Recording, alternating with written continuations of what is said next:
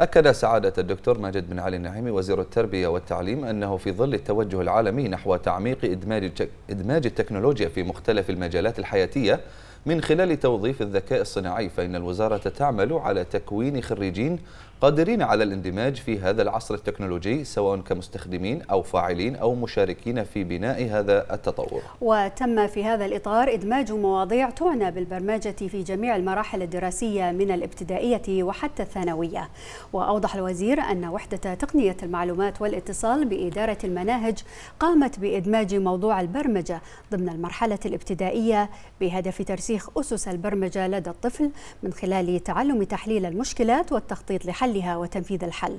أما في المرحلة الإعدادية فقد تم إدراج موضوع تصميم صفحات الويب الديناميكية والذي يشمل التعامل مع لغات برمجة مختلفة.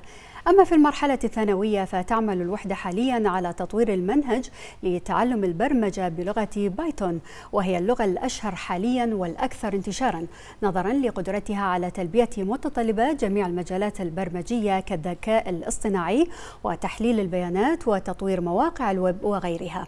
بالإضافة إلى تطوير المقررات الإثرائية في مجال أساسيات بناء شبكات الحاسوب وأساسيات علوم الحاسب الآلي كالأنظمة العددية والأمن السيبراني والمواطنة الرقمية.